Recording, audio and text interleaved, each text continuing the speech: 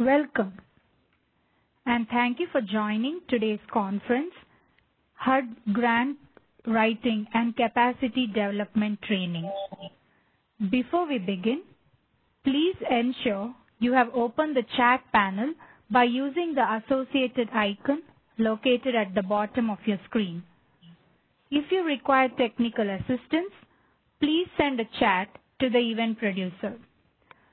To submit a written question, select all panelists from the drop-down menu in the chat panel, enter your question in the message box provided, and send.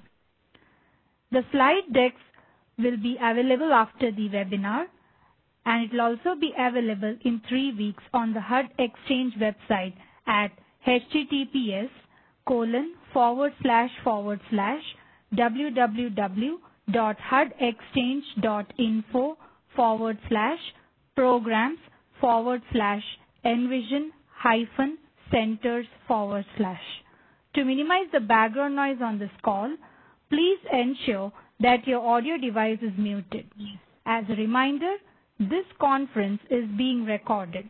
With that, I'll turn the call over to Ann Davis from the HUD Richmond office. Please go ahead.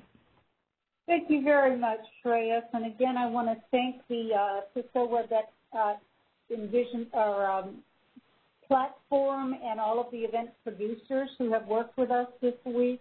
Um, you've just been wonderful, and we've we've really been uh, very very happy with the partnership that we've had. So before we get into today's uh, work, I wanted to make sure that we had all of the questions from uh, yesterday uh, answered. So Hidayah is going to um, jump in there with some of those. Before we even do that, so I wanted to point out to you in the chat box, you will see that I did find HUD's highest scoring funding applications. Now, the last ones that were added to that list were from 2014, but the concepts are the same. Uh, turns out they moved them over to the uh, Freedom of Information Act um, frequently requested materials uh, page, and that's why I couldn't find them and why you couldn't find them on the uh, on the grants office page.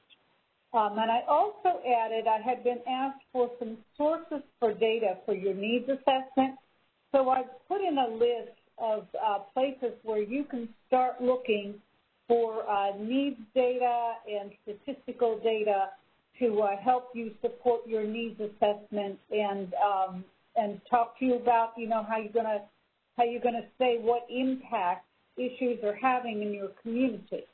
So I hope that these are helpful to you. And uh, Hidayah, if you would just go ahead with any questions that we didn't get to from yesterday, because we were bumping right up against the clock yesterday afternoon. All right, thank you, Ann. I'll start with this first one. Um, I see someone asked, is it easier for grant applications if under United Way, though League City, Texas doesn't have a United Way as it's only uh, 120,000 people in their population? And they're saying, is partnering with larger organizations helpful on grants? Well, you know, I, I'm not sure it's necessarily, you know, that you need to partner with United Way. It, it, one thing a United Way can do for an organization is help provide some of that additional um, technical type assistance, like with board training and uh, strategic planning training. Um, and they're also a wonderful resource to get out into the community. Uh, but if you don't have a United Way, um, try to find out who else in your community is providing services and pull yourselves together as a group so that you can support each other and work together and that when you do submit an application, you're actually, you're actually working as a unified community. 120,000 is not that small of a community, so I'm sure that you've got some nonprofits that are working there uh, in addition to yourself. But I think the thing to do is to, is to, is to get, get together with each other, have a, you know, a brown bag lunch or a, you know, a brown bag lunch via Zoom right now, but connect with each other. Find out what each other does so that number one, you're not duplicating each other's work, but number two, so you can support each other and use each other's expertise in different um, services that you provide. Okay? Thank you, Ann. Um, and then the third part of their question was, do, does an organization need to have a website for grant eligibility and area presence for grants? I don't know that you actually need to have a website for grant eligibility. Not not aware of any requirement that says that. Although certainly um, it's a good idea that you. I mean, you know, you should be able to to do that again uh, by banding together with a local group of nonprofit organizations or human service organizations, and you might, you know, put you know a whole county nonprofit network type of situation up, and then you can you can have a page on a, on a network like that. Uh, but I'm not aware of any requirement that you have a website to be eligible for grant funding. Uh, you do have to have technological capability, though. I'm going to tell you that right off the top. If if you don't have technological capability to submit grant applications, if you don't have technological capability to receive information, uh, you are you're kind of pretty far behind the eight ball as it is, and you need to get that um, beefed up as much as possible, and that needs to be a priority expenditure for your organization. Thank you, Ann. Um, and then these next few questions, um, maybe you may have addressed, although I do see some questions in the chat coming up. So someone asked, what was the website for HUD research information? Someone else said, what are effective ways of data collection? And another similar question is, can you repeat the websites of the public studies mentioned uh, for a literature search? Okay, um, I don't know that I mentioned specific studies for literature search. That would be, you would go to your uh, your area of expertise and see what has been put into the literature for that particular area. If you look at the chat room, I did put down some sources for data, uh, and that includes city and county websites, city county consolidated plans, which are usually available through the city manager or county administrator's uh, web pages. Universities and colleges, especially ones that have public policy or government programs. Census.gov, HUDuser.gov, that's the HUD PD&R website that I know I did mention, and there's literature for housing on that one.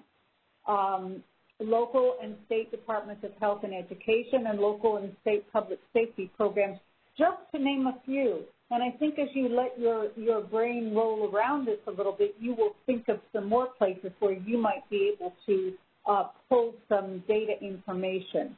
And then again, uh, to uh, to remind you if you wanted to see some successful grant applications uh, above that sources for data in the chat room, I have listed HUD's highest scoring funding applications. The last ones added from, were from 2014, and that is on our Freedom of Information Act uh, frequently requested materials page. Uh, but I put the link there for you so that you can find it. A few people are saying that they're not seeing um, this information in the chat, so. Oh, I sent it to all attendees. So I will resend it. Um, I'll, I'll, repost it at the end of this presentation just to make sure everybody has it. Thank you. Yeah, I'm not, I'm not seeing in the chat the information I'm referred to. Did you click on the little arrows next to the word chat to open it up?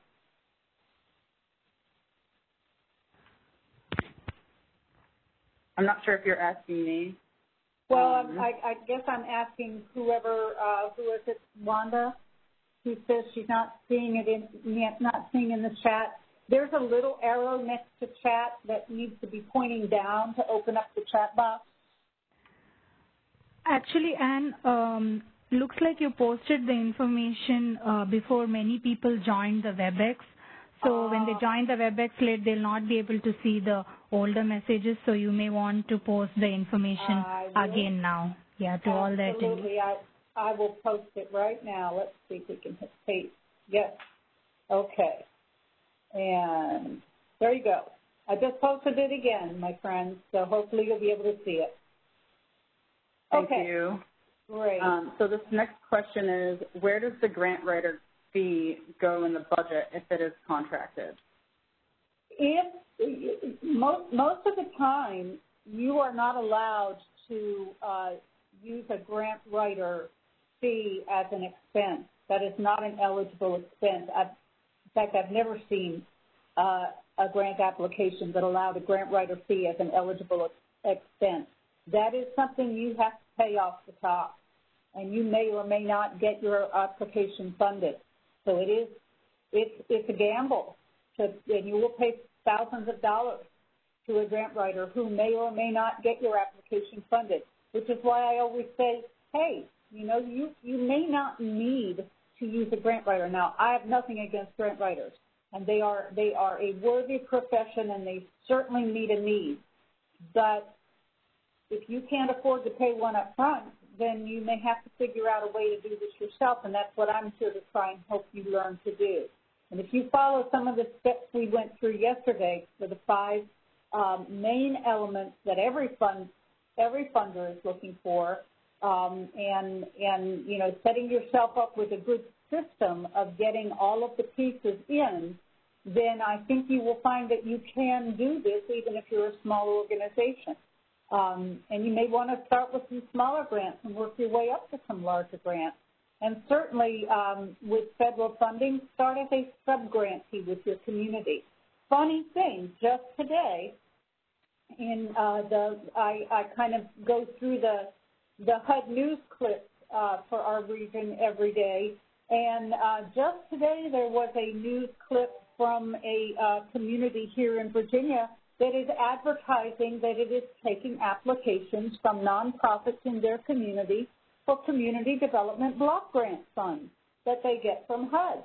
So they're looking to sub-grant. That is a great way to get your feet wet in the federal funding world, is to be a sub-grantee that way. Uh, I also got another, you know, just, you just need to start opening yourselves up to an information flow because I got another uh, newsletter from a, a different, um, like a community foundation that uh, was that listed two grant opportunities that it had available. One, which I thought was absolutely wonderful, it was funding that it got from uh, Facebook, and it is uh, is doing a uh, a Black community uh, issues grant that it's putting out. So, you know, the the funding is out there. Just open yourself up to it. Again, if you can get some college interns this is a wonderful place to ask your college interns to help you because they're they have a tendency to be just a touch more fluent than somebody my age uh, is. Uh, I have to maybe spend a little more time on some of these things that um, that some of my younger friends can get to very quickly, and their fingers are moving so quickly. So, uh, but yeah, if you can get some college interns to help you do this research, this would be awesome. Okay. Thank you, Ann. Sure. Um, so the next question, uh, two parts. The first part, they're praising you for the workshop and your expertise. Um, the second part, they uh, they're asking. So funding used to be 80% government and 20% other sources. Is that still correct? It's going to depend on the uh, on the investor and what they're funding. Some of HUD's uh, programs require a 25% match.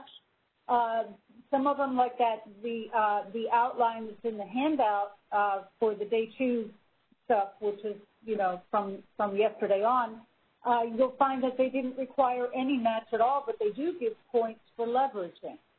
So it is it is a grant by grant thing, and here's another reason why it is very very important for you to read every single word of the Notice of Funding Availability. HUD has actually changed the name to Notice of Funding Opportunity, so from no fuss to NOFO.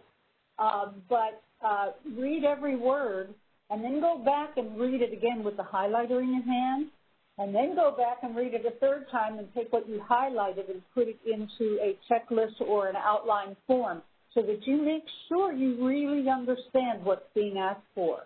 Because, um, yeah, um, it's going to depend on the grant as to how much match they want. Thank you. And someone is asking, is it okay to hire a grant writer and pay them after the grant is received if that, indiv- if that individual agrees to that with the knowledge that he or she may not be paid if the grant is not awarded? I guess if you can negotiate something like that, sure. Um, you, you probably still won't be able to pay them out of the grant. You would have to find other funds to pay them with because uh, that would not be an eligible expense under the grant. But if, if you can negotiate that with the grant writer, sure, why not? Um, I don't think you'll need to, but you know, if you think you need to and, and you can and you can get a grant writer to work with you on that basis, then sure. Thank you, Ann. Next question says, would you suggest the final draft writer is the same person that wrote the first draft? Also, the final draft writer, sorry, also should the final draft writer be one of the team that works on the application development or an outside person? Um, not necessarily would be my answer to either one, to both of those uh, parts of that question. Um, you know, your final draft writer, that's actually going to be your submission copy, so that's going to be your best writer. It doesn't necessarily have to be the same one who worked on preliminary drafts, although it's helpful because that person might have used, you know, things that they understand that they might have to take time to explain to somebody else. Um, so, you know, with, with regard to, to the final submission, you know, it should be written by one person. Maybe it's somebody who's been on the team. Maybe it's somebody who's not on the team but who's been given access to the materials that the team has pulled together. You have to do what works best for your organization. Okay, and so you might have you might have a, a, a journalism major you know, who's who's working as a volunteer, who's not on your board, who's not on the team, but who can pull together this information and have a clear understanding and write it clearly. So it's, it's going to be who who do you have? What skills do you have that you can tap into? Thank you, Ann. The next question is, you have mentioned United Way as the go-to group for help with technical assistance. How do groups like www.pfccoalition.org get connected with HUD as a resource for nonprofits? Okay, P, I'm not sure what pfccoalition.org is off the top of my head, but um, how you connect with HUD is, uh, is by getting to know somebody at HUD and seeing if that person can, can um, guide you towards some resources. Please keep in mind that nobody at HUD is going to be able to review your application. Nobody at HUD is going to be able to, uh, to help you with your grant writing. That's not something we're allowed to do. But if you're asking us to help you find some resources, um, you know, if we have time, we're able to, sure, we would do that. I certainly have done that many times for different organizations. Um, so, uh, you know, get to know people at your HUD office. I would say start with your um, your front office, the people who work with your uh, with your HUD offices. Every every state has a HUD office. Uh, some of them have more than one, um, and and start with the people in the director's office, and uh, and ask them, you know, do they do they know of any resource you could go to, or can do they know of anyone who can guide you to resources? And see what they say. You know, a lot, a lot of people, uh, like like my friend Catherine in San Antonio, and uh, and the team that she works with there, uh, Robert Johnson and Gerlinda Banks, they know a lot of the resources. Uh, others are very small offices, and they may not know, know so many resources, but they might be able to put you in touch with somebody. So I would say get to know the folks. Thanks, Ann. This next question says, please repeat where to find funded grants on grants.gov. Okay. You won't find funded grants on grants.gov. And I'm sorry that, that, that that was not clear. Where you will find funded grants is on this HUD website that I just posted again to the chat box, okay? And it's and it is in the uh, HUD uh, Freedom of Information Act frequently requested materials. The link is there in the chat box, so please do look, okay? Um, but that is where you will find HUD's highest scoring funding applications. The last ones were posted from 2014. Don't let that throw you, okay? The, the, um, the concept behind putting together a good grant application don't change that much over a period of years. The, the, the, um, the technicalities might, but the concepts behind putting together an application are going to stay pretty consistent. So go to, uh, go to that link that I put in the chat box, and underneath that link you will find sources for data for developing your needs assessment. Now, I couldn't give you specific ones because this workshop is going out across the entire country. Um, that's why we have it so late in the afternoon on the on the East Coast, so that our folks, friends on the West Coast, can uh, not have to click on it six in the morning. Um, so, you know, I, I couldn't put a lot of specific sources for data down there, but but there are, you know, a lot of sources for data, and I'll be giving you a few more uh, places to start at the end of the uh, presentation today. And this is the last question, just to follow up to earlier. Where okay. do I find the news? Sorry, where do I find the newsletter for Black nonprofits you just mentioned?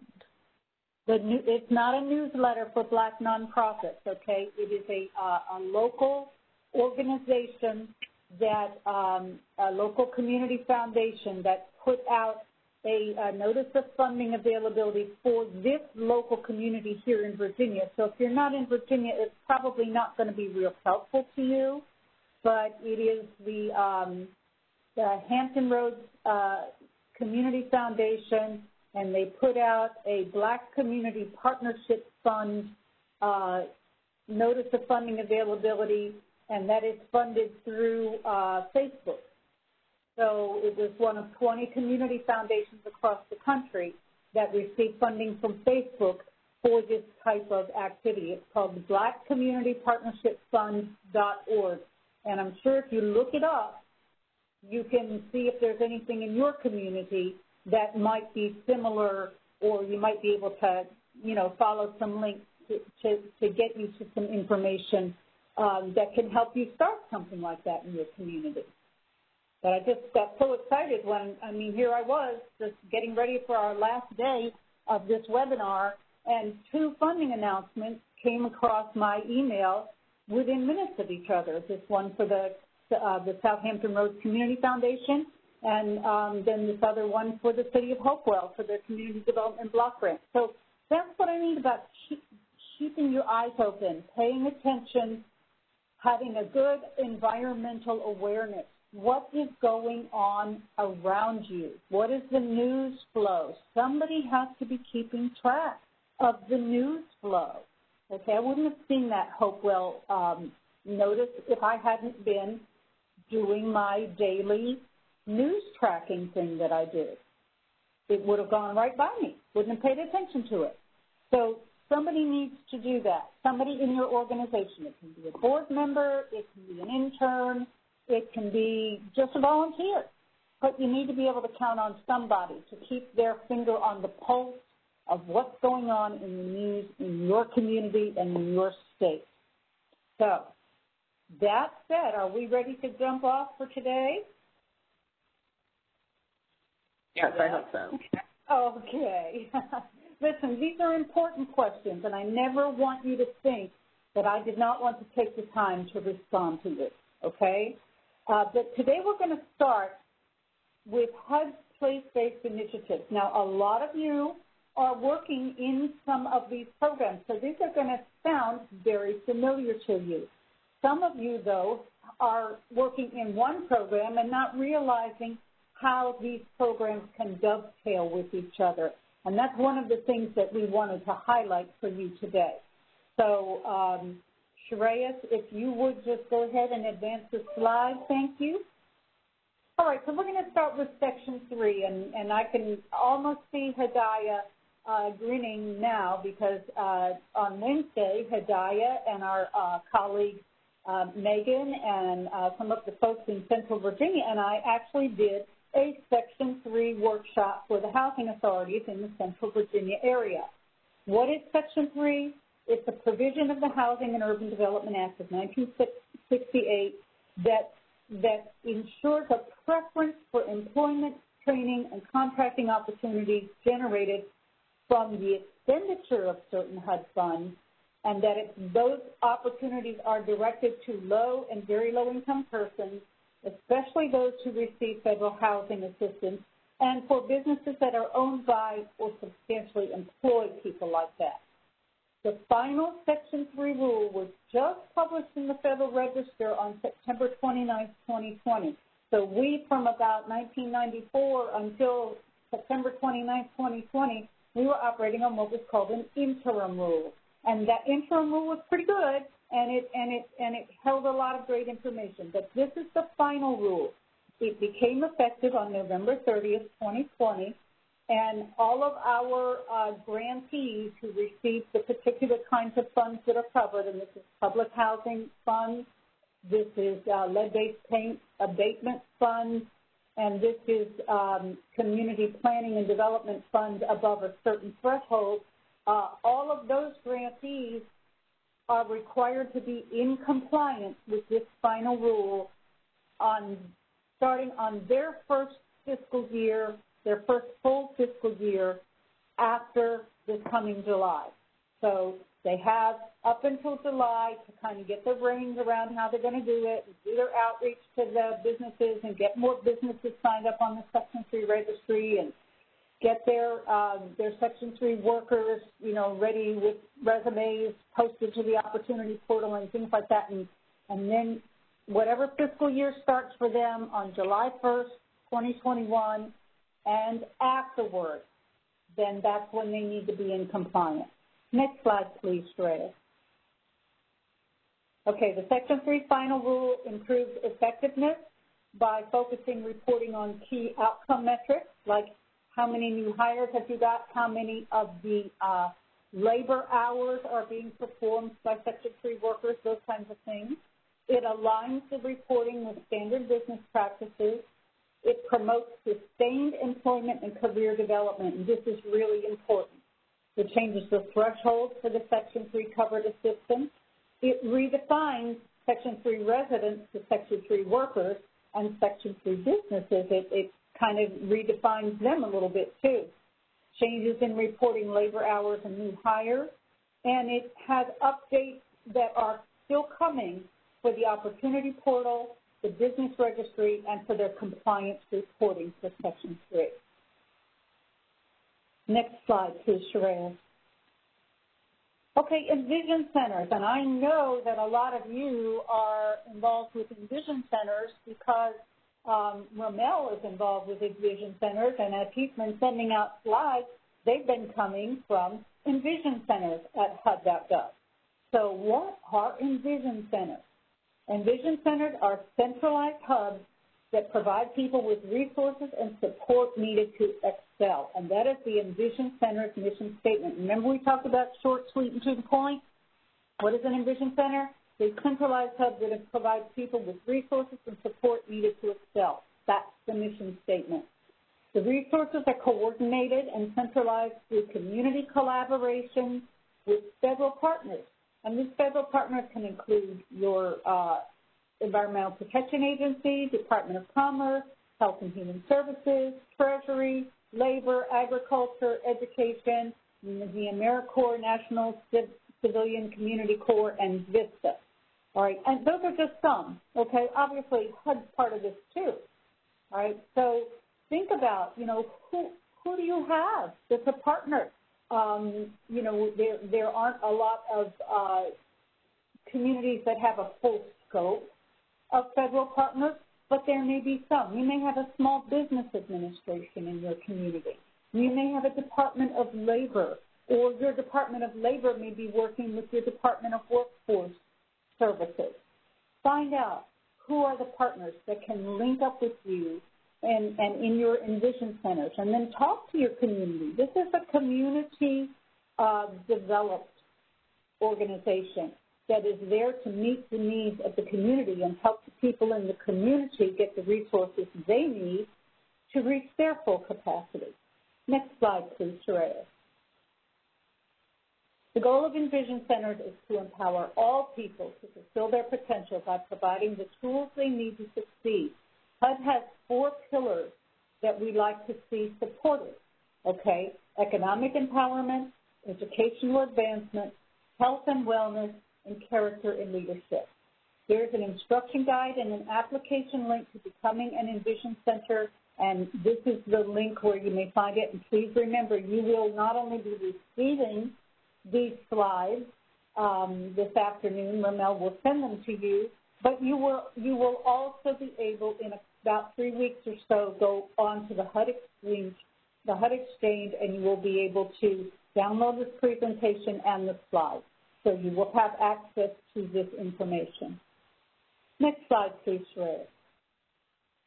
Opportunity zones. This is something that, that uh, Hidayah and I have been working on a bit over the last year. What are opportunity zones? Opportunity zones are economically distressed communities. I think we all know some of those where we live. They're defined by individual census tracts they were nominated by America's governors. So HUD didn't choose the opportunity zones. Treasury didn't choose the opportunity zones.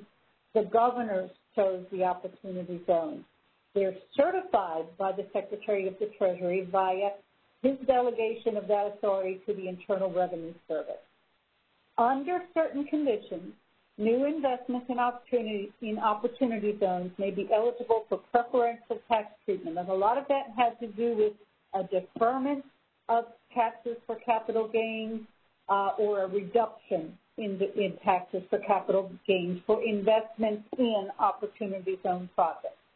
There were 8,700 plus opportunity zones in the United States, many of which have, have experienced a lack of investment for decades. Opportunity Zones Initiative is an incentive. It's an incentive to spur private and public investment in underserved communities. You can find out more about Opportunity Zones at opportunityzones.hud.gov. Next slide, please, Shreya. Promise zones. What are promise zones? Promise zones are high poverty communities where the federal government partners with local leaders to increase economic activity. Do you hear, you hear a recurrent theme here, my friends? Improve educational opportunities, leverage private investment, reduce violent crime, enhance public health, and address other priorities identified by the community. Next slide, please. There are 22 urban, rural, and tribal promise zones that were selected through three rounds of national competition. Applicants had to demonstrate a consensus vision for their community and its residents, the capacity to carry it out, and a shared commitment to specific, measurable results. The Promise Zone designation lasts for a term of 10 years, and there is a link here with more information about Promise Zones. You may not have a Promise Zone in your community, but you may be near to one. You may find that, that the opportunity exists for you to throw in with an opportunity zone and help them achieve some of their goals at the same time you're achieving some of your goals. Next slide, please, Shreya. Choice neighborhoods. What are choice neighborhoods? Choice Neighborhoods program leverages significant public and private dollars to support locally driven strategies that address struggling neighborhoods with distressed public or HUD-assisted housing through a comprehensive approach to neighborhood transformation. What does that say in non-government speak? It's a program that pulls in public and private dollars to, to make the communities vibrant again, okay? Make public uh, housing neighborhoods and other communities nearby vibrant and healthy again. Local leaders, residents, and stakeholders such as public housing authorities, cities, schools, police, business, etc. They come together to create and implement a plan that revitalizes, revitalizes the distressed HUD housing and addresses challenges in the surrounding neighborhood. It helps communities transform by revitalizing the, the housing and by catalyzing critical improvements in the neighborhood, including dealing with vacant properties, housing, businesses, services, and schools. Next slide, please, Soraya. Choice Neighborhoods is focused on three core goals. Housing is the first one because clearly this is housing centric, okay? Replace distressed public and assisted housing with high quality, mixed income housing that is well managed and responsive to the needs of the neighborhood. People improve the outcomes of households living in the target housing related to employment and income, health, and children's education, and neighborhood.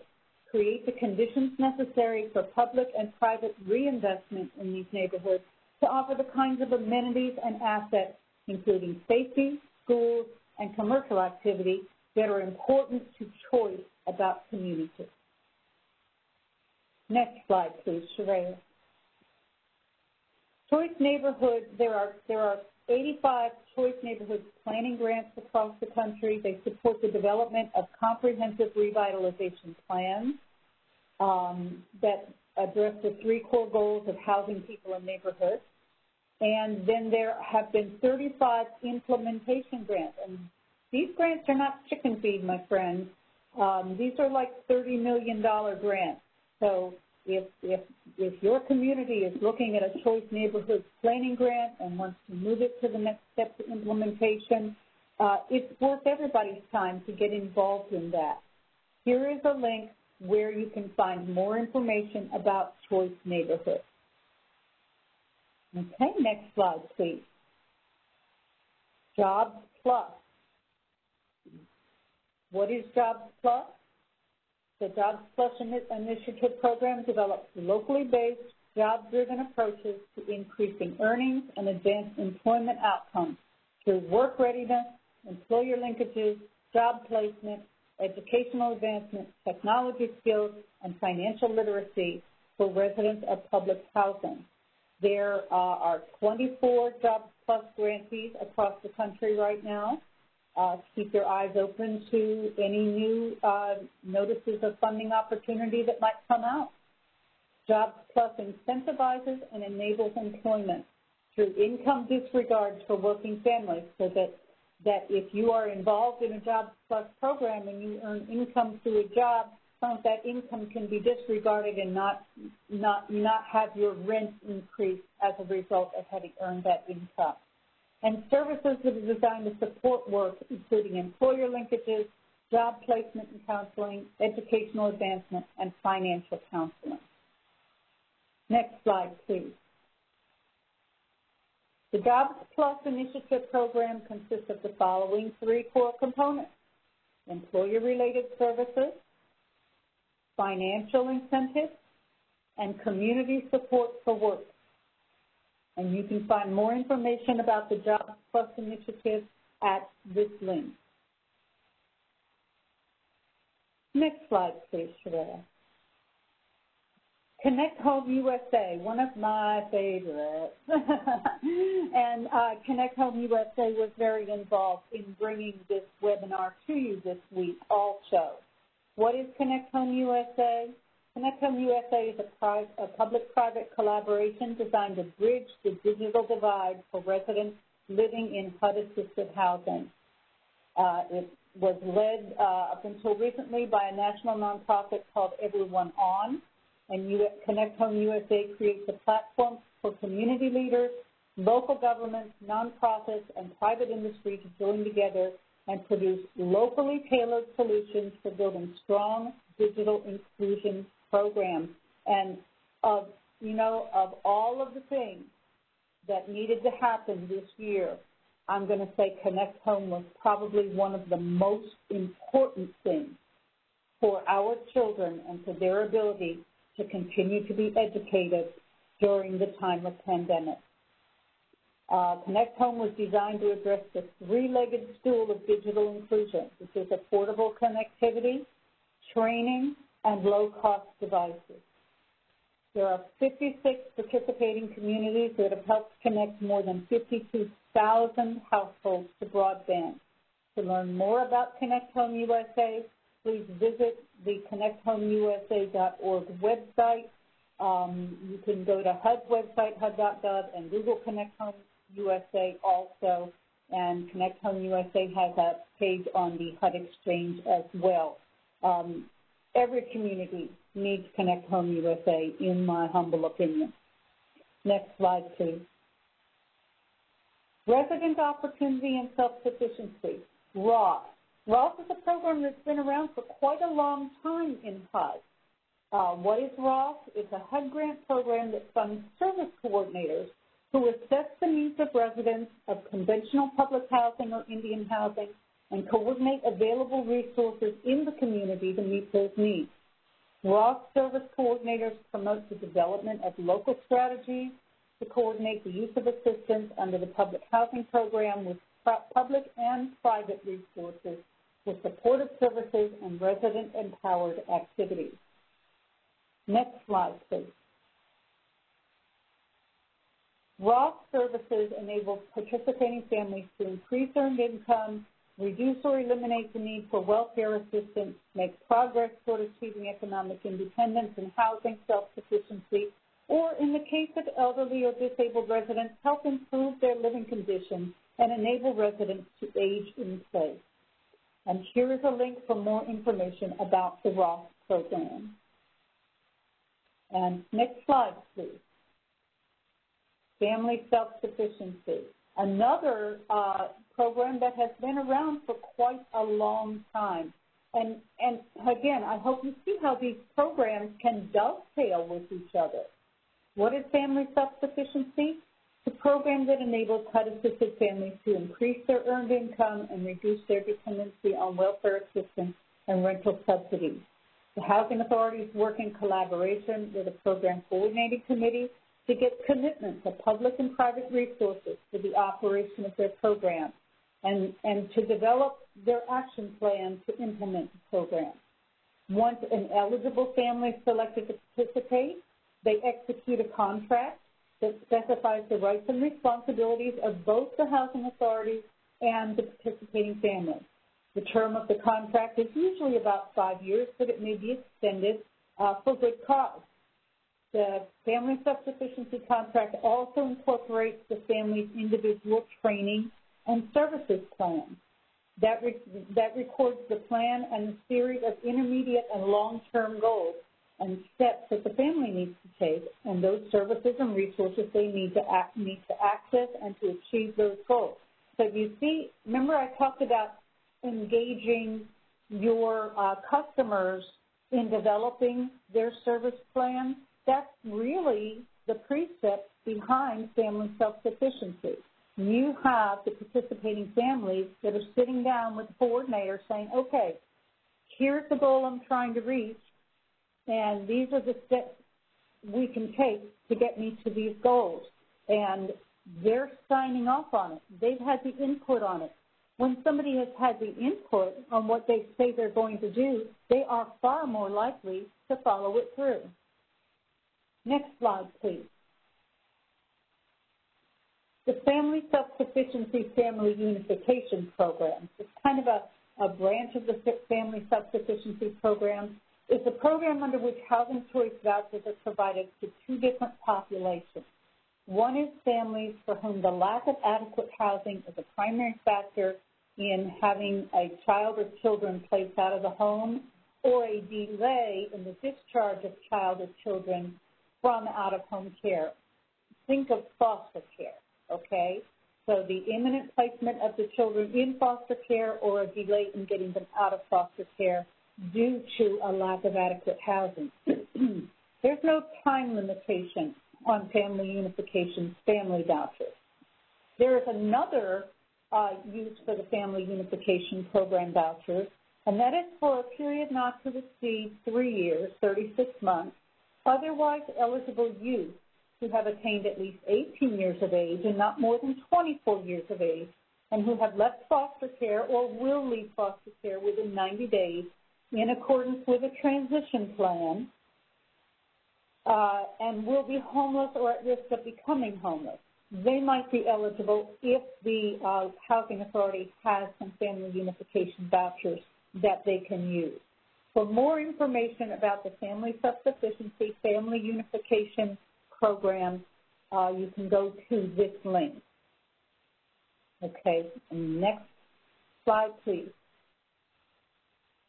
All right, the final place-based program I wanted to look at today is the Foster Youth Independence Initiative. It is a pretty new program with HUD, but uh, in the areas where we have implemented this program, it has so far been very successful. What is FYI? It targets housing assistance to young people aging out of foster care who are at extreme risk of experiencing homelessness. It offers housing vouchers to local housing authorities to prevent or end homelessness among young adults under the age of 25 who are or have recently left the foster care system without a home to go to. Here is the link where you can find more information about the FYI initiative. I will tell you as uh, somebody who had the great privilege of fostering some young people uh, over the years, um, I can't think of any of them, none of them, who were ready to be on their own at age 18. I can't think of my own daughters who grew up in my household always uh, and who are smart, capable young women now, but who would have been ready to be on their own at age 18. So when it comes to really taking a look at how to help people achieve what they can achieve, I think the, uh, the Family Unification Program and the Foster Youth for Independence Program are two just amazing place-based initiatives that uh, I hope more um, more communities investigate further. All right, we're going to switch now to the uh, basic marketing and places to start um, slide. Okay, wow, that was fast. You're pretty quick. Okay, so we're going to take a quick look. We have talked a little bit about uh, marketing, and in your handouts you will see the full and complete um, marketing PowerPoint. I call it Beyond Bake Sales. I know I got really clever with myself there for a little while. But, uh, but it really is moving your mindset beyond bake sales. You, bake sales are wonderful. I'll never complain with them okay? But fundraisers are best at getting your name out to the public. That's what fundraisers do the very, very best. They rarely will bring in enough money to run your operation. So I'm not saying don't do fundraisers because I like them and they're important and they're fun and you know you can you can have a, a, a lot of a good time doing fundraisers, but don't count on them. You need to learn to do something bigger, something stronger. And that's where marketing comes in. Okay, so let's take a look at some basic marketing tools that you can implement. Next slide, please, Shreya. All right, when you're when you're starting to market, and and those of you who have had some uh, business school education or even just taken a course or two, you're going to recognize some of this you need to identify your customers. Now, for a lot of nonprofits, the, the first instinct is to say our customers are our service consumers, and that's true. Your customers are your service consumers. But you have other customers that you may not have started to think of as customers. And those are your funders or your investors. Okay, they can be individual donors, they can be fundraiser contributors as participants. They can be local government. They can be lenders. They can be grantors, corporate, foundation, or federal. All right. So, um, so those are those are some additional customers that I would like you to kind of keep in mind as customers. Next slide, please, Shreya. So when you're when you're doing marketing, what you want to do is you want to take a different marketing approach for the different customers that you're trying to get to either invest in your program or to use the services of your program.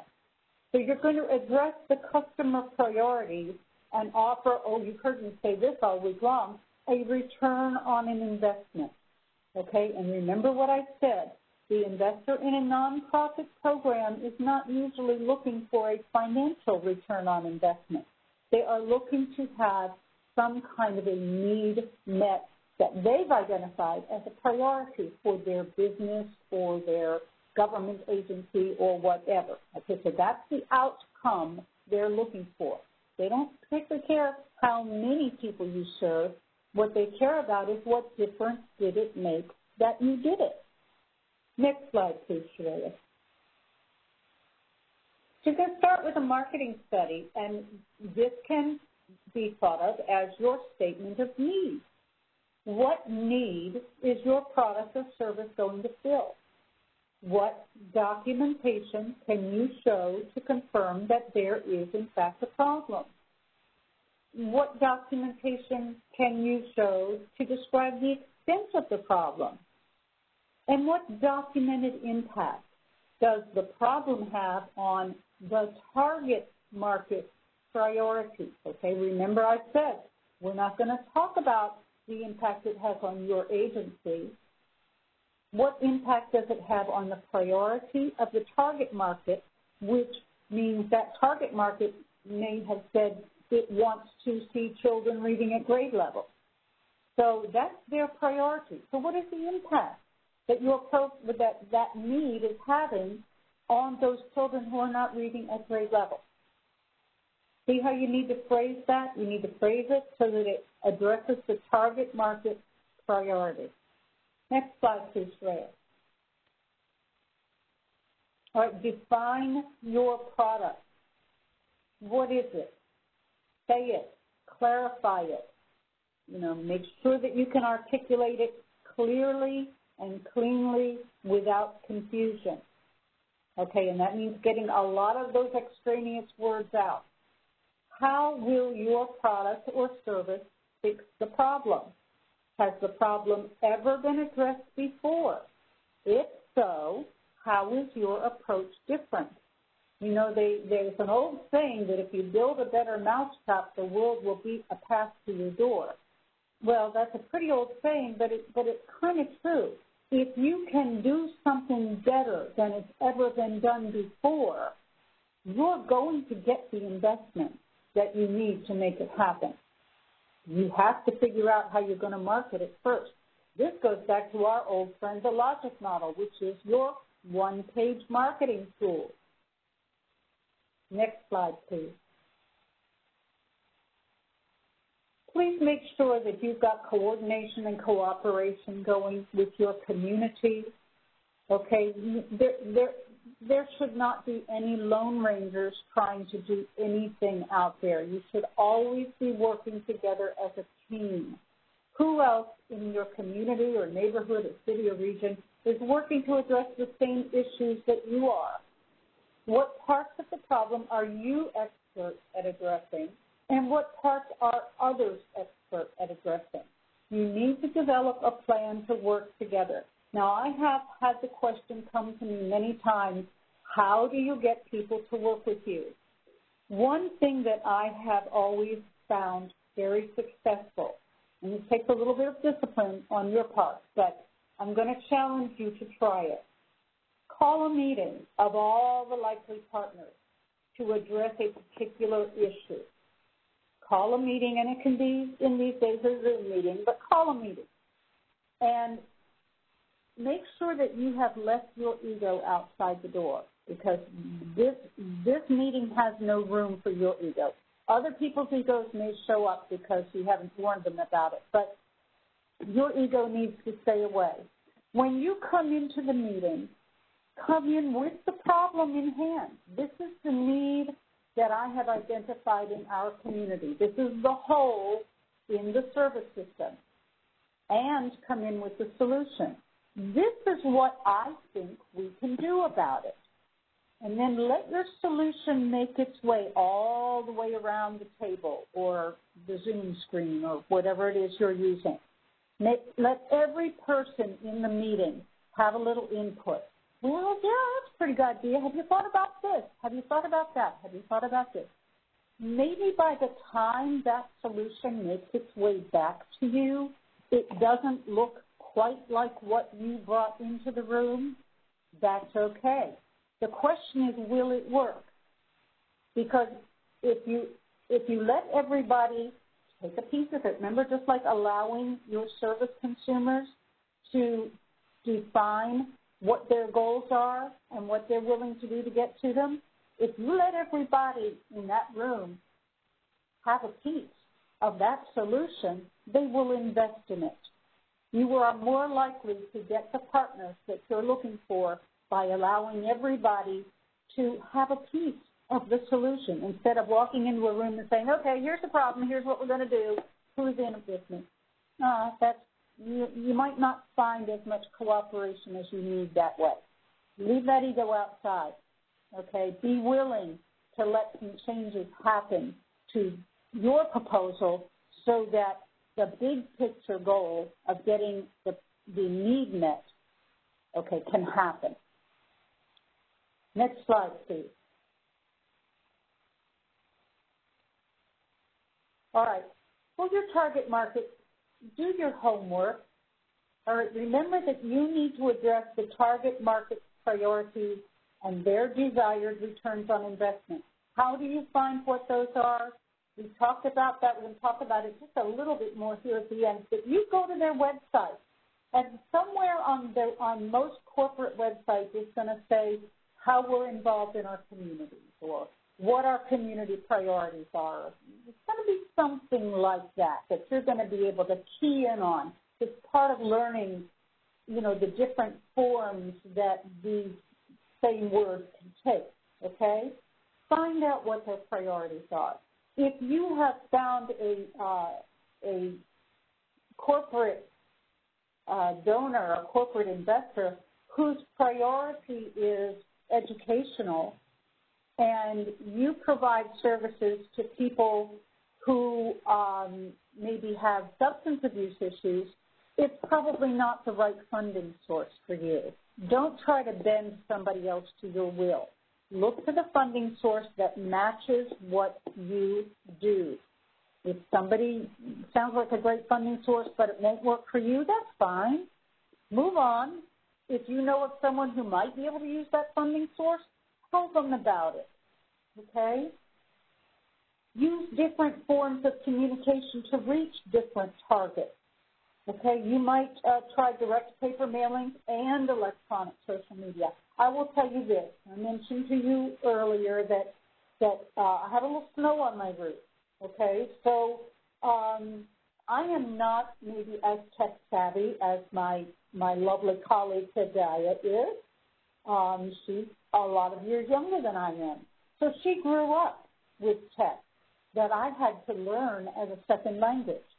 My first instinct is to kind of bypass all the solicitations that come into my email, you know, like delete, delete, delete. But if somebody sends me something in the mail, in paper mail, because I am of an age I'll hang on to that. I'll put it in my slot that says I need to pay attention to this at some point in time. And I may not get a donation out this week or next week or the week after, but I have a piece of paper that's going to constantly be reminding me that I need to make a donation to these people. Believe me, our local food bank here knows that about me very, very well. They don't send me emails. They know better. They know I'm not going to respond well to emails because I get so many emails. But if they send me something in the mail, they're probably going to get a donation from me before very much longer goes by. Okay, so think about it. Who is your target market? You want to use direct paper mailings and electronic and social media. Use public service announcements. They are, by and large, uh, cost-free uh, now, I will say something about public service announcements, okay?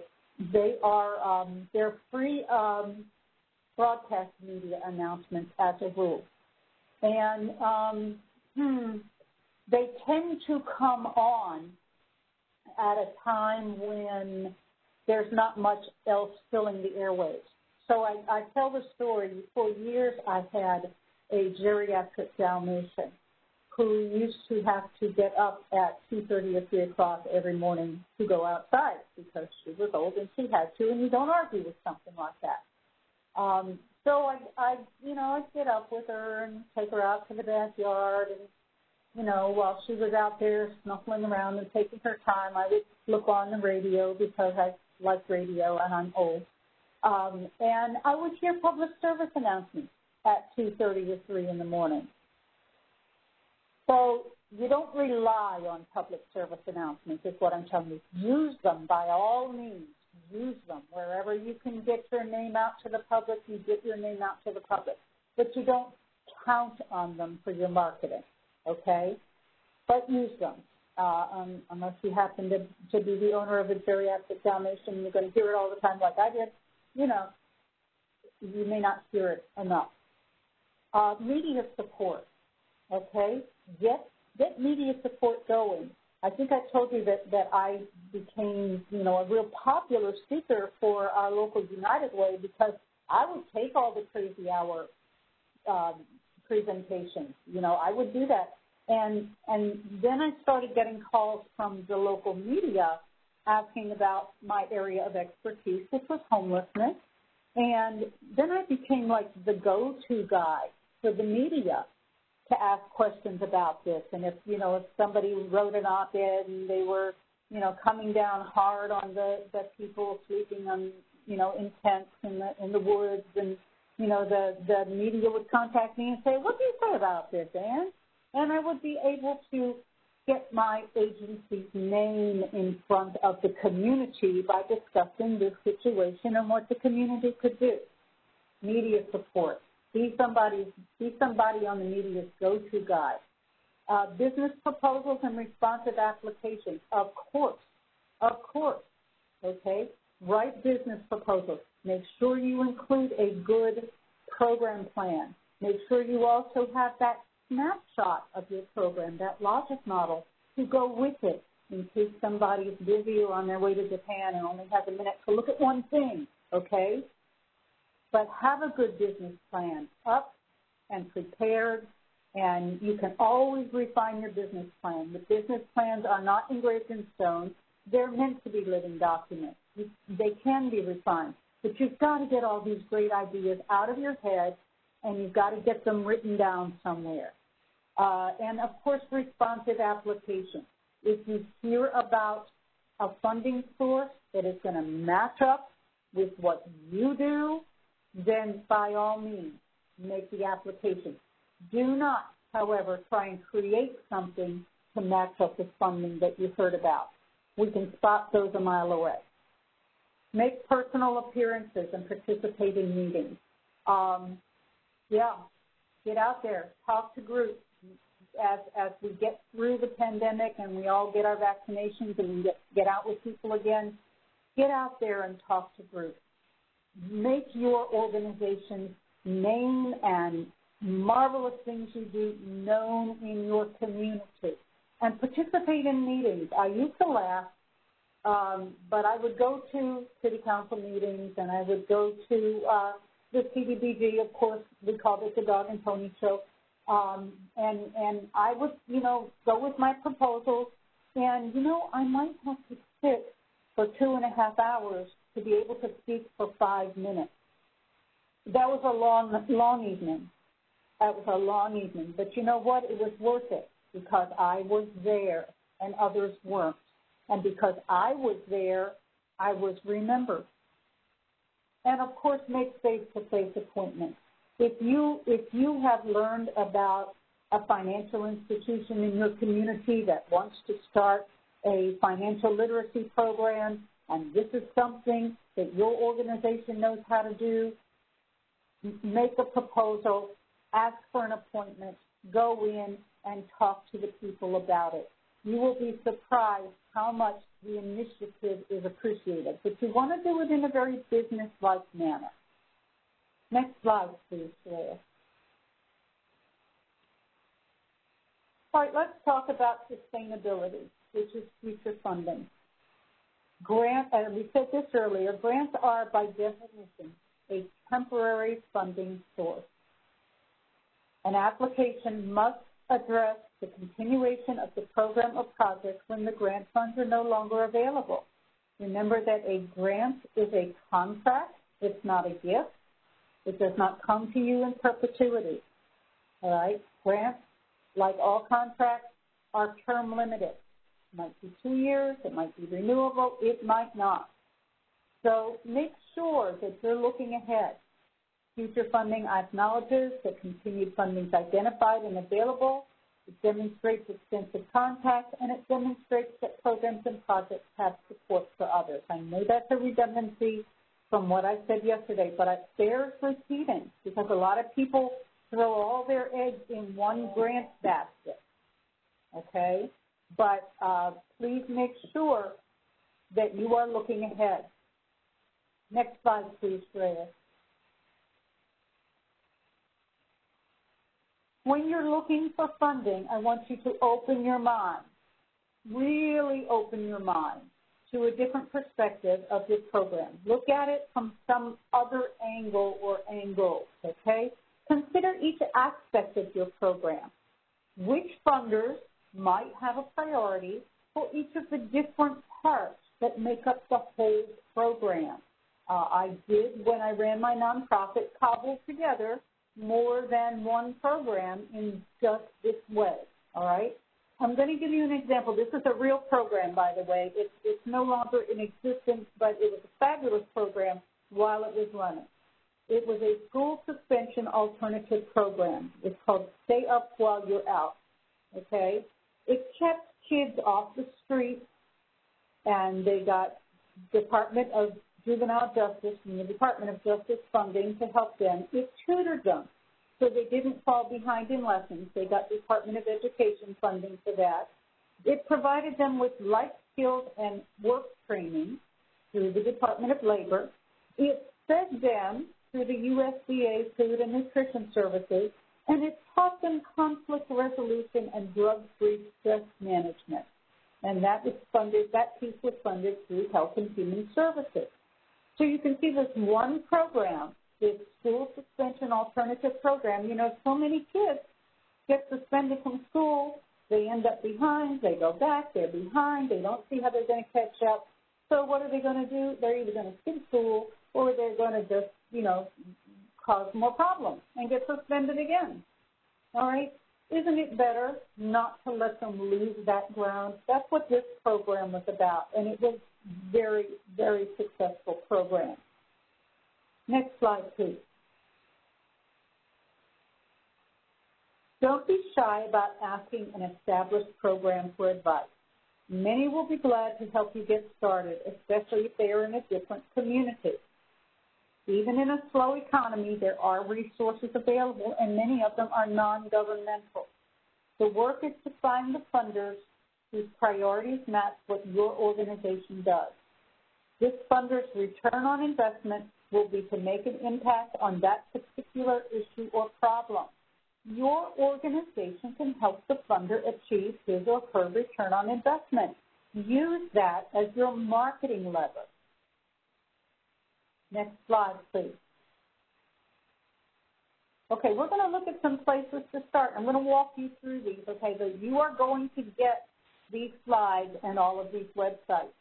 That's the official federal funding site, www.grants.gov.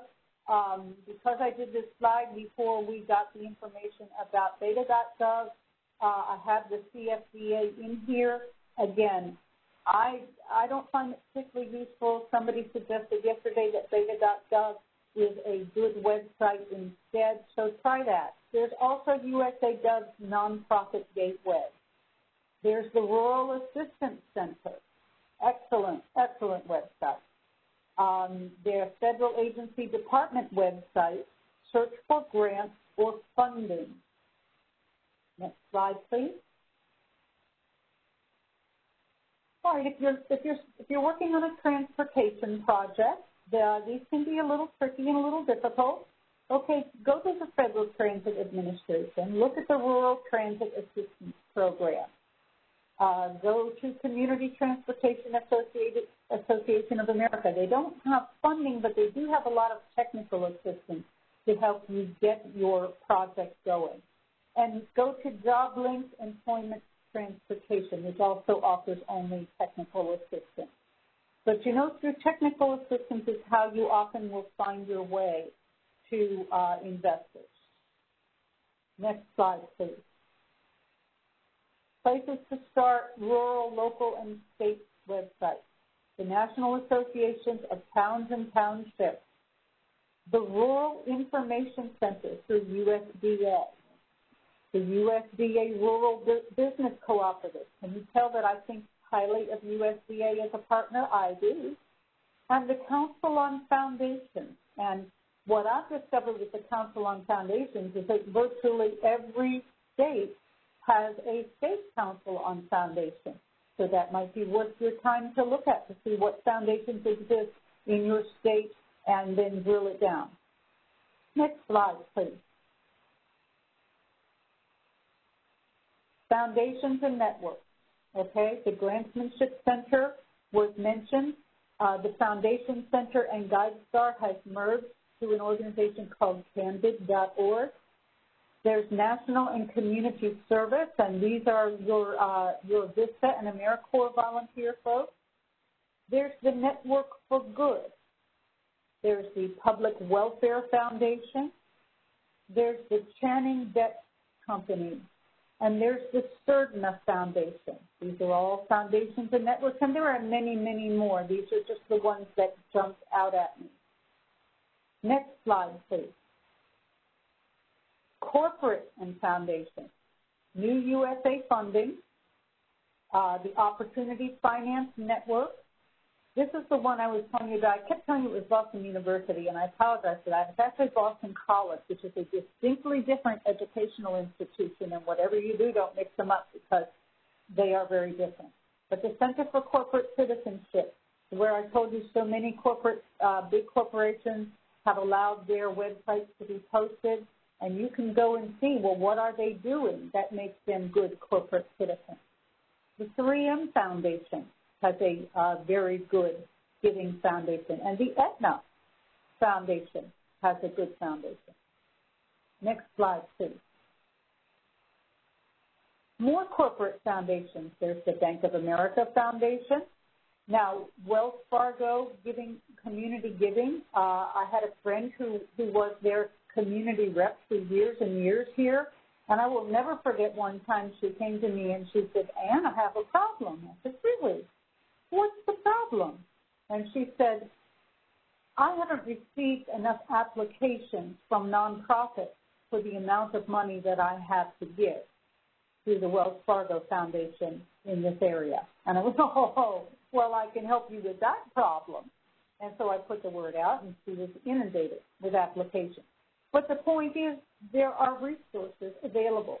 So take a look at what your major financial institutions are, are doing. Uh, the Anthem Foundation, okay, another insurance company foundation, AT&T Foundation, and if you're if you're into children's wellness, this is one of my favorites. Kaboom, Kaboom helps build community playgrounds, and that is, in my opinion, a very wonderful thing to do. Next slide, please. Places to start for broadband and telecommunications, Broadband USA, excuse me, got a little frog in. The National Telecommunications and Information Agency, okay? Great, great resource. EveryoneOn, who is the one that, that was just a tremendous resource for Connect Home USA and, and HUD's Connect Home project and uh, other high-speed internet resources. Um, are there government programs to help me get internet service? Okay, look and see. And remember that one website will easily lead you to others. So don't be afraid to click, click, click. And if you find something that's good, bookmark it so you can find your way back to it. Because one of the things I run into is, is sometimes I'll, I'll chase myself down a rabbit hole and not be able to get back to where I was. So if you find something good, bookmark it so you can get back to it. Next slide, please. All right, uh, for STEM education, there's the National Education Association uh, for STEM. There's STEMfinity, and there's Inside Philanthropy that offers STEM education grants. We want our children to be as well educated and as competitive as they can possibly be going into the future. And that's going to mean making sure that they are well educated with science, technology, engineering, and applied mathematics. You often, often will also hear this called STEAM. Okay, so please support, if, if this is something you do and you need support for it, then these are good places to look. Okay, next slide, please. Okay, other educational uh, programs, um, the U.S. Department of Education, of course, Get Ed funding, and FundsNet services for education and literacy grants. You see that there's there's more out there than you might initially have thought, and you're not limited. You're not limited to saying, oh, I'm doing an education program. I have to go through the Department of Education. No, it's good to look and see what Department of Education is offering, but you're not restricted to the Department of Education. Let your brain roll around with this a little while and see what else you can come up with. Next slide, please. For arts and culture, and I hear a lot from people who, who are interested in finding funding for arts and culture programs, and I think arts and culture programs are extremely important. Uh, they are they are wonderful creative outlets. They are places where people can be who they are in safety. Uh, so I'm, I'm all for arts and culture funding. And here are a few things that I found. There's the National Assembly of State Arts Agency. There's ARC A2Z. And then, of course, there is the federal government National Endowment for the Arts. There are probably many, many more that I haven't uncovered, but those are the ones I said that jumped out at me as I was putting this together. Next slide, please. For preservation, okay, please look at what the Environmental Protection Agency has to offer. And also the Pew Charitable Trust has a wilderness and public lands protection. Okay, take a look at that. Okay, it, it, is, it is very important uh, in this time of, of uh, climate change and the impacts that we're feeling from uh, some severe climate issues that we pay attention to preservation. So uh, please, if this is what you do, here's a couple of resources that you can start with. Next slide, please. Okay, places to start for housing. Um, of course, there's HUD, uh, HUD.gov. There's USDA Rural Development, which I, I tease, but it is not really true, but, but I call them like the rural HUD. They do develop housing and community facilities in rural communities, and they are, they, again, you know, USDA, one of my favorite fellow federal agencies. There's the Housing Assistance Council. There's the Aspen Institute. There's the Local Initiative Support Corporation, a fabulous national corporation that has many, many local chapters. And then there's Rural List, R-U-R-A-L, List, L-A-S-T. So places to start looking for housing development and housing programs. Next slide, please.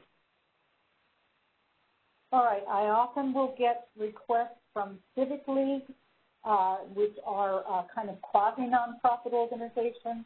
So I have done a little looking on behalf of Civic League. Um, there is a national civicleague.org. Um, a lot of this is technical assistance, but actually some of these have uh, grant programs that go with them. The city of Chesapeake here in Virginia has a very good uh, Civic League development guide, which is more technical assistance than anything else, but it's worth looking at. The U.S. Conference of Mayors has an annual CommunityWINS Award program uh, that, that it offers to Civic League. And I also found on the Georgia Municipal Association's grants page uh, a very good uh, grants and award opportunities program. So there's a place where civic leagues can start too. If you are working with a civic league or trying to get a civic league up and running in your community, um, take a look at some of these resources. And I believe that's my last slide, isn't it, Sharaya? Sharaya? Yes, that's yes, the last that slide. is, that is my last slide.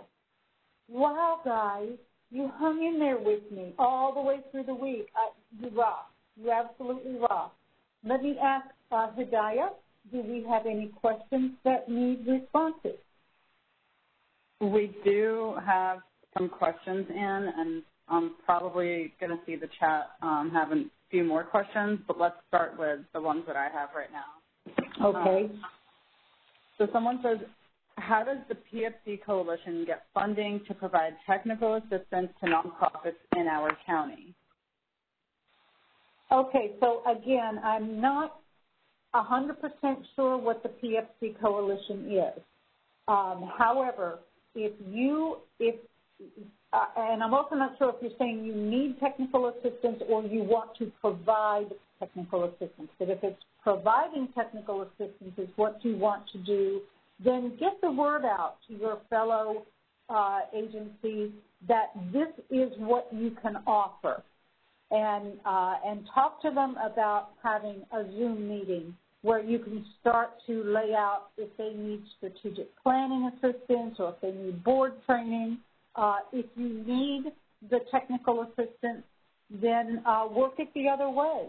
Then send the word out to either your local um, nonprofit network if you have one, or if you don't have one, start to develop one uh, or if you're fortunate enough to have a uh, strong United Way in your community, um, put the word out. Say, you know, this is what we need. This is what we're looking for. Is there anyone out there who can provide it for us? You might also look at some of your uh, corporate uh, citizens in your community, uh, particularly ones that, that might be accounting firms or financial institutions that might be able to uh, provide you with this kind of uh, technical assistance or partner with you on providing this kind of technical assistance to others. And also, don't forget, if you have uh, colleges or universities and even even the, uh, the business administration programs of community colleges uh, might be interested in working with you on something like this. Thank okay? you, Anne. This is a question, I believe, from earlier, maybe even before you started the presentation. Someone asked if you could clarify, and I believe this was about the Facebook um, funded initiative. They said, right. did you say blackcommunityfunding.org? Yes, let me let me take a quick look at that again. Okay, Black Community Partnership Fund.org. Thank now you for that, that may, clarification. That may just be the name of the one that's here in the Hampton Roads community, but what what uh, what it says is that uh, Facebook recognizes the Hampton Roads Community Foundation's commitment to racial equality, racial equity, and uh, chose to partner with us to support Black-led nonprofits. Thus, the Black Community Partnership Fund will help challenge and dismantle structural racism in our community. That's the Hampton Roads community. Go ahead and look at their website and see, see what they have, but also see what may be happening in your community because Hampton Roads is all the way out here on the East Coast. So if you're in um, the middle of the country somewhere or if you're on the West Coast, you may have to look for something like it. Thank okay? you, Anne. This next question, someone says, I missed the information um, on the chat regarding the government grants website, and if you could repost it. Okay, I did repost it um, a little bit later on. Um, uh, look at approximately 312. There is a posting from, from me to all attendees, HUD's highest scoring funding applications. The last one's added from 2014 and there is the website there. But if you've missed it, just go to the HUD website and go to the bottom where the smaller print stuff is and click on the FOIA, F-O-I-A, it stands for Freedom of Information Act. And then click on, when you get to the FOIA website, click on the frequently requested materials and you'll have, uh, you'll be able to see HUD's highest scoring funding application. Thank you. And someone is requesting that you provide them the link to become an opportunity zone in the chat. Uh, I do not have a link to become an opportunity zone, but there is a link for more information about opportunity zones. Uh, remember that uh, your governor is the one who determines where the opportunity zones are in your state. So what I would do if I were you is go to your state um, housing finance agency or community development at the state level and see what they have in opportunity zones or just put say if if, if you're in Kansas put uh, opportunity zones Kansas and see what comes up and you will then I mean here in Virginia you know, we have we have a good opportunity zone website um, that that comes up that has an interactive map, and we can see where the opportunity zones are. We can see where the uh, opportunity zone investors are. So I'm thinking that other states will have the same thing. Uh, thank you, Anne. Um, sorry, my dog is up early today, but I will, hopefully he doesn't make too much noise. This next question says, can a nonprofit be affiliated with multiple place-based initiatives such as Section 3 and Envision Centers, or is that something you create for your own organization? Uh, I think that you could be affiliated with multiple ones. In fact, I think it's a very good idea to, uh, we like to see the place-based initiatives dovetailing with each other. So uh, I'm, I'm all about uh, getting Connect Home organizations to get your get get the folks who use their broadband connected with the Section 3 opportunity zones to, to increase their opportunities of getting hired by Section 3 businesses. And I'm all about the Envision centers looping in a Connect Home project and, um, and you know, yeah, I, I think that's a great idea to, to dovetail that way. Um, if you do not have a place-based um, projects going in your community right now that you're aware of, contact one of the place-based people, um, one of the place-based uh, links that are on that on that presentation, that first presentation we did today, and uh, and find out, you know, where where is the near where are the nearest ones to me. Uh, Ramel, who is on this uh, presentation today, and, and he'll be saying goodbye to us here at the end, um, he works with the Envision Center project out of headquarters. Uh, Dina Lehman Kid works with Connect, or Dina Lehman Kim works with Connect Home. Okay, um, and and there's you know uh, we have regionally people who are working with Section Three, so we can get you connected uh, to to opportunities in your area. And I, uh, yeah, absolutely dovetail. Uh huh. Thank you for that. And this next question says, when calling a meeting with partners to collaborate on the grant, let's say working with at-risk youth, what happens when they veer off to write the grant themselves? Um, hopefully, hopefully you wouldn't have that level of rudeness happen. Um, you know, I don't see why they would. If you if you come in with the with the issue and you come in, you know, with a solution and you're clear that, that you're looking for partners here, I, I, I can't imagine why they would go off and write that themselves. This is not something you do for giggles and grins. Writing grants is hard. So, uh, but, but if they do, you know, you can, I would say go back to them and say, hey, remember that meeting we had? I want to work with you on this. I want to be your community partner on this. Yeah, don't let a partnership die. Remember that egos are very intractable, intractable. Um, they're there, and they don't like to, to go into hiding very easily. Uh, but it is important. Uh, I have always told partners that I've worked with, you have to decide is it more important to get the job done or to get the credit?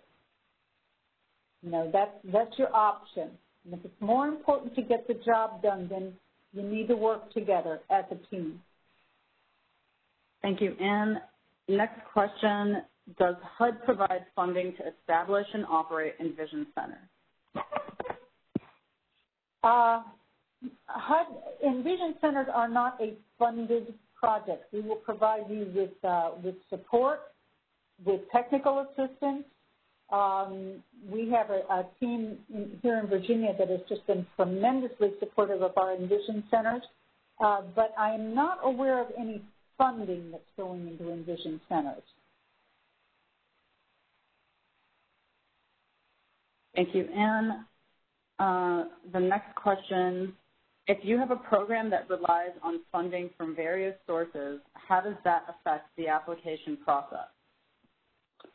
Well, it's uh, multi-applications, I would say, if you're getting funding from different sources.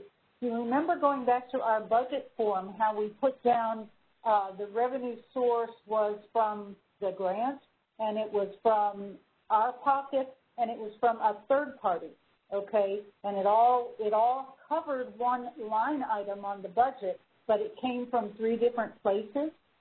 So that is kind of how that works. Uh, obviously, you're making more applications, um, but you, this is where you go back and you, uh, you make a table that, that says very clearly, this grant has these regulations, it lasts for this period of time, this is what we can spend the money on, and make a good clear table so that when you look at it, you can make sure that you are staying in compliance with each of those funding sources. Thank you. Ann. the next question says, you mentioned the Aspen Institute. When searching just now for housing on their website, none of their pages came up in the results. Do you have an exact link for their housing initiative? Let me see. I uh, didn't have, yes, aspeninstitute.org. No, that's, that's all I have.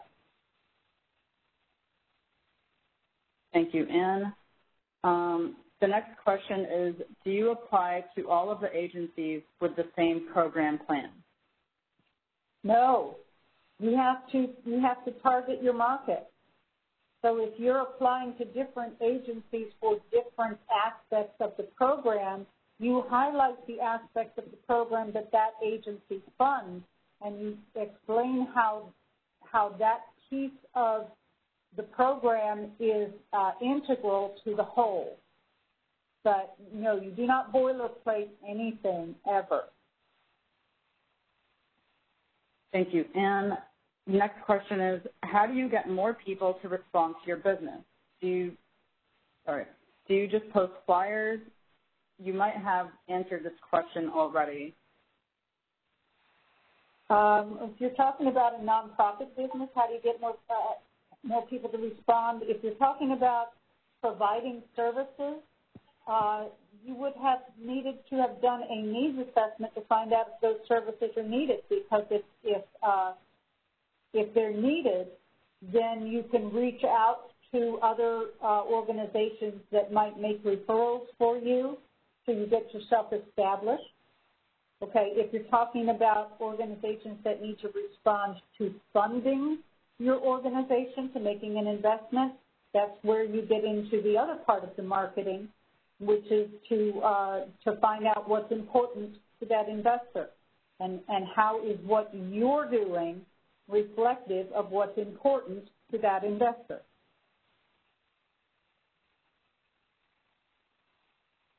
Thank you, Ann. The next question is, what's the best way to reach out to HUD for support in seeking connections or sources for capacity, funding, or funding, online or both uh, phone or online? Well, remember that this, this um, set of webinars and the slides and the handouts are going to be posted to HUD Exchange uh, in the next three weeks or so. So there's certainly one place.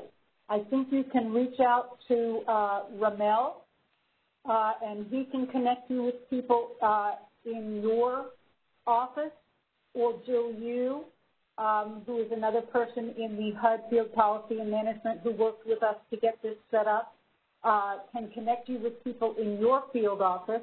Uh, reach out to your nearest HUD field office, to the uh, to the field office director's uh, area, which is field policy and management, and see if they have anyone who can uh, help you connect with some of the people that can assist you with this. Um, larger HUD offices are going to have a little more staff that might be able to help. Smaller HUD offices may not be able to help, and that's when you reach back to our headquarters team. Thank you, Ann. The next question is, since you answered all the questions all week, did anyone record the questions and answers for reprint on our email? I don't know if they're recorded for reprint, but I know they're part of the recording for the uh, webinar.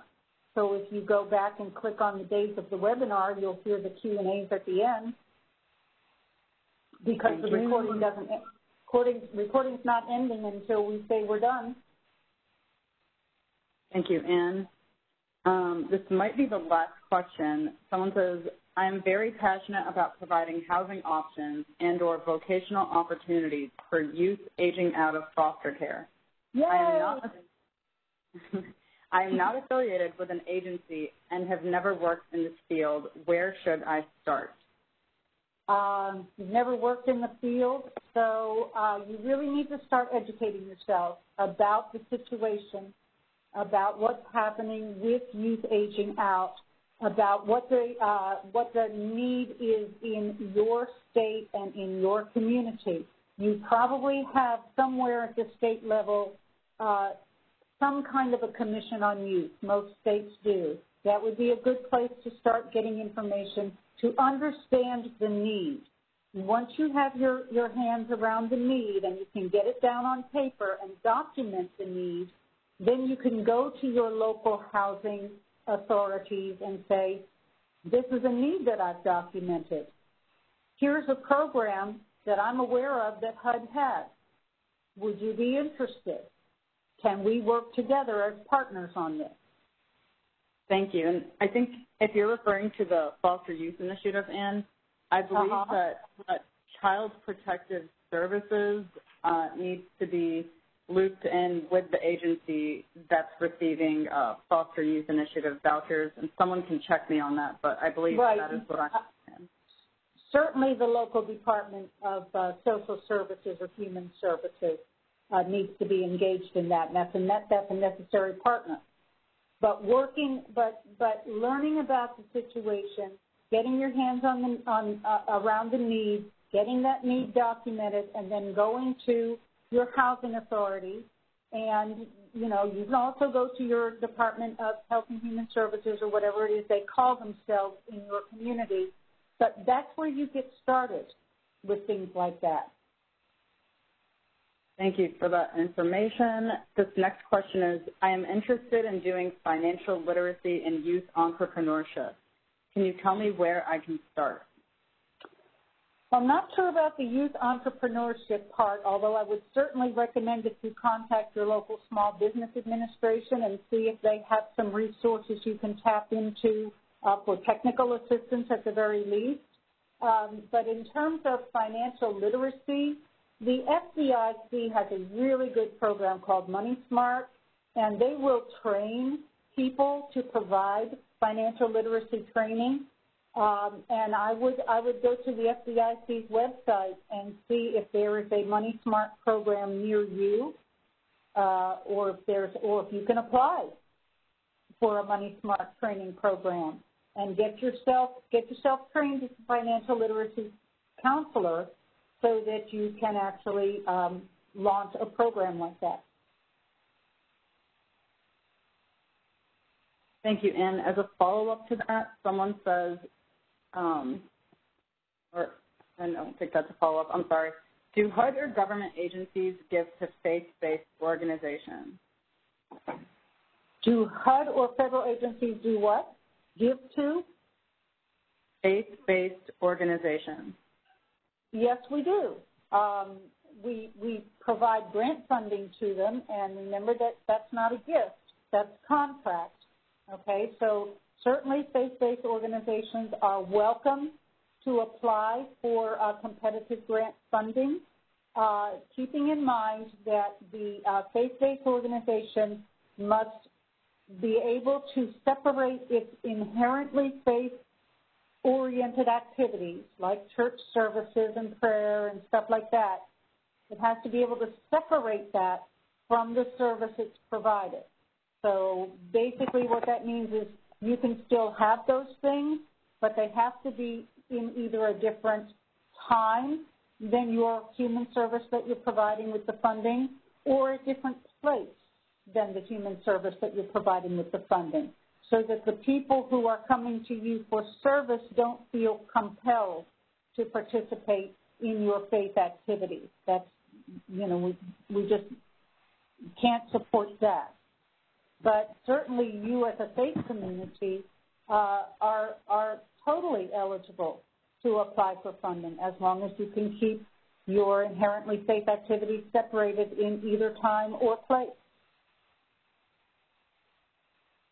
Thank you. And they, as the follow-up to that is actually, is there a list for them on the web? A list for no, no, because because there's not any specific faith grants that we put out. You would be eligible to apply for any other grants that any other nonprofit organization is eligible to apply for um, as long as you have the capacity to implement the program you say you're going to implement. It's just that one caveat that you need to have it separate in time or place. So, I mean, you can use the same fellowship hall for um, for housing counseling services as you use for your um, your Wednesday night worship. You just can't do it at the same time. And you can you, you can you can have your housing counseling services going on at the same time as your Wednesday night worship services, just not in the same place. Thank you. And um, those are the end of the questions. I did just want to add a quick note because you plugged um, university students uh, as potential interns for many of these nonprofits. Uh, just a, on a personal account, um, when I was a grad student, I interned for Catholic Charities, and it was a really good experience, um, especially once we had developed a work plan for me. So um, yeah, I definitely recommend, especially if you have a work plan, um, go recruit from college campuses. So. Absolutely. Um, college students are some of my favorite people, and I'm still, I still hear from some of the college students who interned with my nonprofit more than 22 years ago before I came to work for HUD. So I, I hope that, that it would be a good experience and, and something that, uh, that you take advantage of because, wow, what young people bring to an organization is priceless. Um, I, I thought that was the last question, but last question came in at 445. Can we look for more training on this subject? I don't know. Um, let's, let's get this posted let's get this webinar posted.